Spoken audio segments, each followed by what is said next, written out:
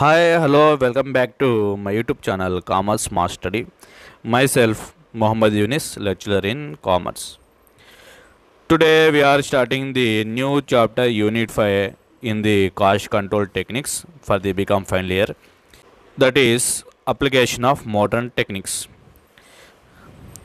BCom final year వాళ్ళకి cost control techniques సబ్జెక్ట్లో fifth chapter application of modern techniques అని చెప్పి ఉంటుంది. దీంట్లో టూ టాపిక్స్ ఉన్నాయి ఈ చాప్టర్లో ఫస్ట్ వన్ వచ్చేసి కైజన్ కాస్టింగ్ కైజన్ కాస్టింగ్ అలాగే రెండో టాపిక్ వచ్చేసి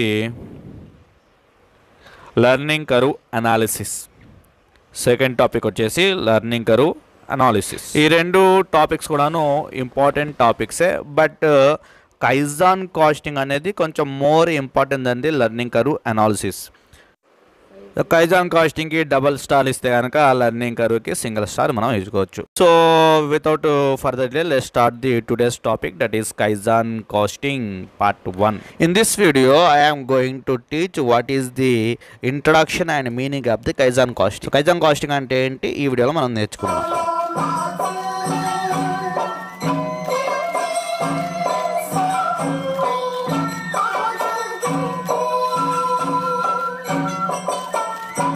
ఏమైంది? ఇదేంటిది? ఛానల్ మారిందా? లేకపోతే యాడ్ ఏమైనా వస్తుందా? స్కిప్ యాడ్ బటన్ కూడా కనిపించట్లేదు ఏంటి అని అనుకోవద్దు. సో మనం కైజాన్ కాస్టింగ్లోనే ఉన్నాం. కైజాన్ కాస్టింగ్కి ఈ జపాన్ వాళ్ళకి రిలేషన్షిప్ ఉంది. అందుకే తెలియజేయడం కోసం ఈ వీడియోని పెట్టాను. అంతే గుర్తుండడం కోసం. సో కైజాన్ కాస్టింగ్కి అలాగే జపాన్ వాళ్ళకి మధ్య రిలేషన్షిప్ ఏంటంటే కైజాన్ కాస్టింగ్ అనేటువంటి కాన్సెప్ట్ ఎక్కడ నుండి ఇన్నోవేషన్ జరిగింది అంటే అది జపాన్ కంట్రీ నుండి ఇన్నోవేట్ అనేది జరిగింది. ఓకేనా?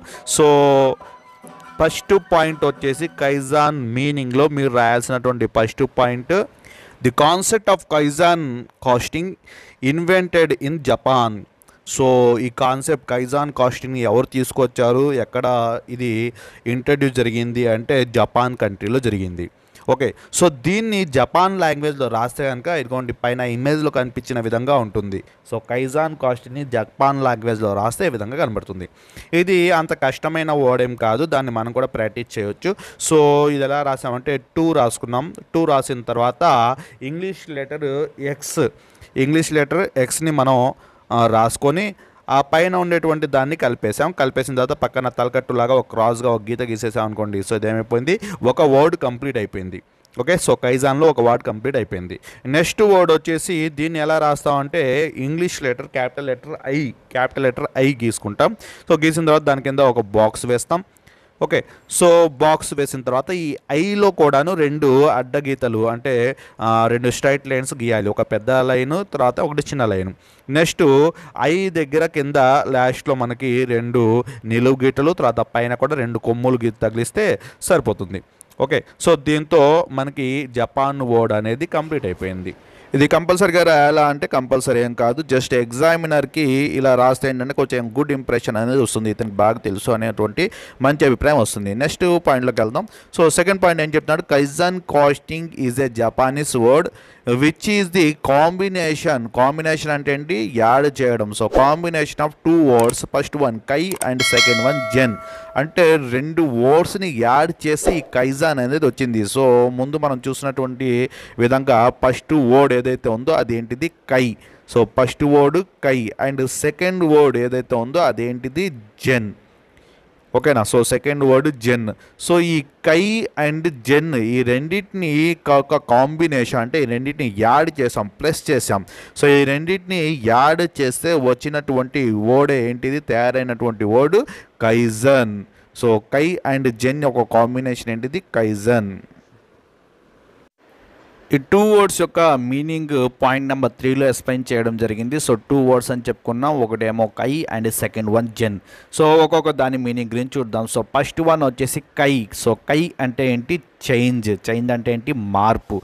తర్వాత సెకండ్ వర్డ్ వచ్చేసి జెన్. జెన్ అంటే ఏంటి?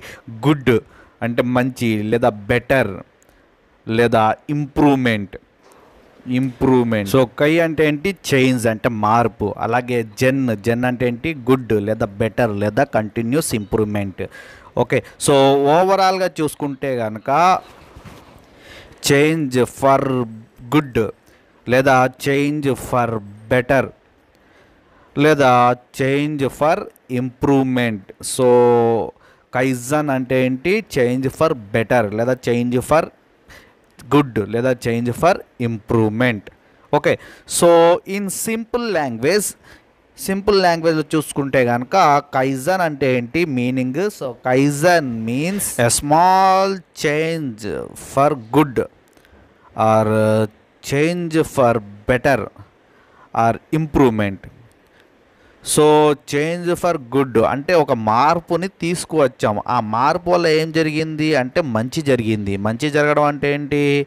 అంటే మన బిజినెస్ ఒక ప్రాఫిట్ పెరగడమో మన ఆర్గనైజేషన్ ఒక ప్రాఫిట్ పెరగడమో లేదా కాస్ట్ తగ్గడమో ఏదో ఒక బెనిఫిట్ అనేది జరిగింది. ఓకేనా? సో మంచి జరిగింది అనమాట మన ఆర్గనైజేషన్కి ఆ మార్పు తీసుకురావడం వల్ల.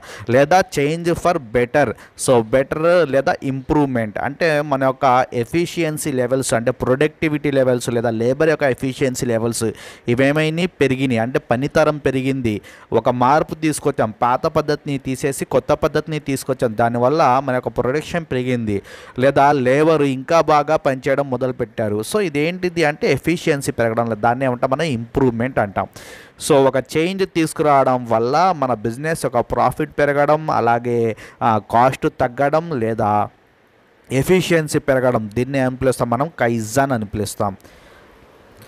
సో ఇప్పుడు దాకా మనం చూసింది కైజాన్ అంటే ఏంటో చూసాం అయితే మనం నేర్చుకోవాల్సింది కైజన్ కాదు. సో కైజన్ కాస్టింగ్ నేర్చుకోవాలి. అంటే కైజన్ అలాగే దాంతోపాటు మనం నేర్చుకోవాల్సింది costing. Okay. So kaizen costing గురించి మనం నేర్చుకోవాలి. సో కైజాన్ అంటే ఆల్రెడీ మనం చూసాం. Kaizen means change for good or change for better or change for improvement. In business language we are not use the good or better. We use the improvement word only. So kaizen అంటే improvement అనమాట change for improvement. So costing అంటే ఏంటి? ఇక్కడ అర్థం ఏంటంటే so kaizen అనేటువంటి టెక్నిక్ని use చేసుకొని మనం కాస్టింగ్లో ఏం చేస్తామంటే కాస్ట్ని రెడ్యూస్ చేసుకుంటాం సో కాస్ట్ని తగ్గించుకుంటాం. So how we can reduce the cost? We can reduce the cost with the help of the elimination of the waste.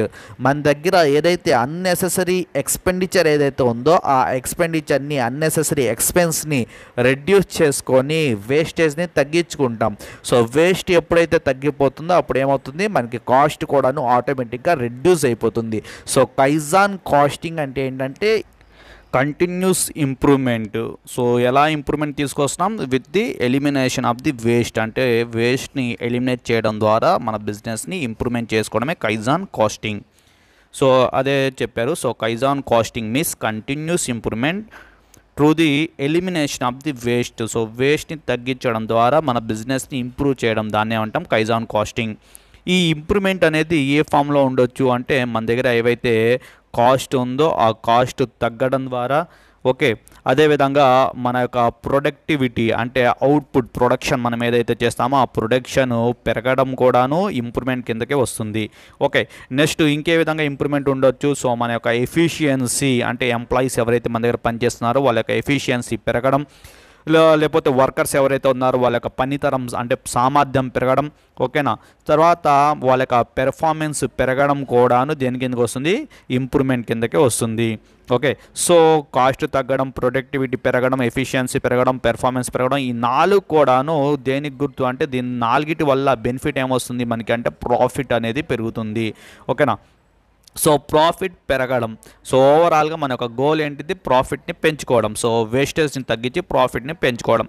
So ఈ కైజాన్ కాస్టింగ్లో కంటిన్యూస్ ఇంప్రూవ్మెంట్ జరుగుతుంది కాబట్టి కైజాన్ని మనం ఏం పిలవచ్చు అంటే కైజాన్కి ఇంకో పేరు కూడా ఉంది. ఏంటిది అది? Continuous improvement costing so kaizen costing is also called as continuous improvement costing so kaizen అనేది జపాన్ వాళ్ళు తీసుకొచ్చారని చెప్పారు. సో మొత్తం జపాన్ వాళ్ళు కలిసి తీసుకురాదు ఒక పర్సన్ దాని మీద రీసెర్చ్ చేసి దాని యొక్క థీరీస్ ప్రిన్సిపల్స్ కనిపెట్టాడు. అతనే Masaaki Imai. So Masaaki Imai is consider as the father of the kaizen. So ఇతన్ని ఫాదర్ ఆఫ్ కైజాన్ అని కూడా పిలుస్తారు. ఎందుకు అంటే for the globally introduce the kaizen as the systematic management. So ఒక మేనేజ్మెంట్ లాగా ఒక సిస్టమేటిక్ మేనేజ్మెంట్ అంటే ఏంటంటే కొన్ని రూల్స్ కొన్ని ప్రిన్సిపల్స్ని ఇతను డెవలప్ చేశాడు. సో ఈ develop the principles rules for the kaizen. So kaizen యొక్క రూల్స్ ఏంటి? వాటి యొక్క ప్రిన్సిపల్స్ ఏంటి? మొత్తాన్ని తను డెవలప్ చేశాడు. అందుకే తను ఏం పిలుస్తాం మనం? ఫాదర్ ఆఫ్ ది కైజాన్ అని పిలుస్తాం. అయితే ఏదైనా కంపెనీ అసలు వీళ్ళు చెప్పినటువంటి రూల్స్ని ఫాలో అవుతుందా? అంటే ఫాలో అవుతున్నారు. సో ఫస్ట్ టైము ఒక కంపెనీ ది రూల్స్ని ఫాలో అయింది. సో ఆ కంపెనీ ఏంటిది? Toyota company. So Toyota motors corporation for the first time implemented the kaizen system.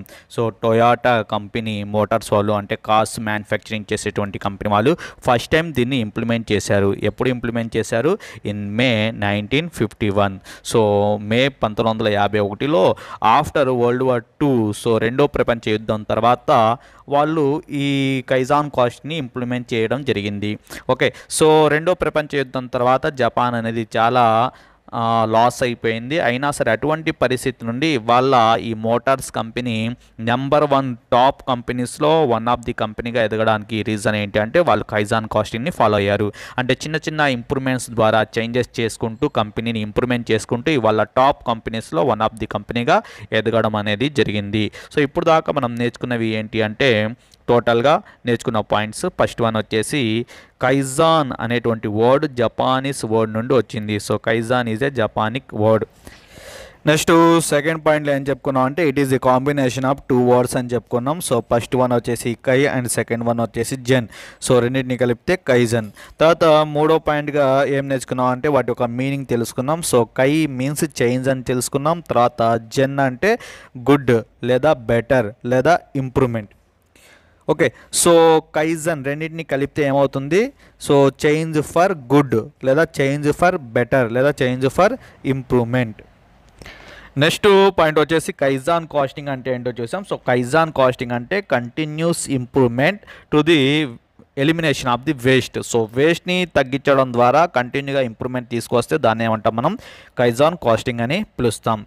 తర్వాత ఈ కైజాన్ కాస్టింగ్కి ఇంకో పేరు కూడా ఉందని చెప్పుకున్నాం. ఏంటి ఆ పేరు అంటే కంటిన్యూస్ ఇంప్రూవ్మెంట్ కాస్టింగ్ అని కూడా కైజాన్ కాస్టింగ్ని పిలుస్తాం.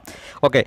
తర్వాత ఈ కైజాన్ కాస్టింగ్ని కనిపెట్టినటువంటి వ్యక్తి ఎవరు? మసాకి ఇమాయి. సో మసాకి ఇమాయి కనిపెట్టాడు. అందుకే ఇతను ఏం పిలుస్తాం మనం? Father of father of kaizen costing అని కూడా పిలుస్తాం. తర్వాత దీన్ని ఫస్ట్ టైం ఇంప్లిమెంట్ చేసినటువంటి కంపెనీ ఏంటిది? So Toyota company is the first company which is implement the kaizen costing. So ఎప్పుడు ఇంప్లిమెంట్ చేసింది? Nineteen fifty one okay so దీంతో మనకి టోటల్గా కైజాన్ కాస్టింగ్ అంటే ఏంటి? దానికి ఆ మీనింగ్ మొత్తం కూడా కంప్లీట్ అయిపోయింది. నెక్స్ట్ క్లాస్లో మనం కైజాన్ కాస్టింగ్ యొక్క ప్రిన్సిపల్స్ ఏంటి? ఏ ప్రిన్సిపల్స్ని వీళ్ళు ఫాలో అవుతారు ఆ ప్రిన్సిపల్స్ని చూద్దాం. సో ఈ వీడియో కనుక మీకు నచ్చినట్టయితే కనుక మా ఛానల్ని లైక్ చేయండి సబ్స్క్రైబ్ చేయండి అలాగే మీ ఫ్రెండ్స్తో షేర్ చేయండి. Thanks for watching.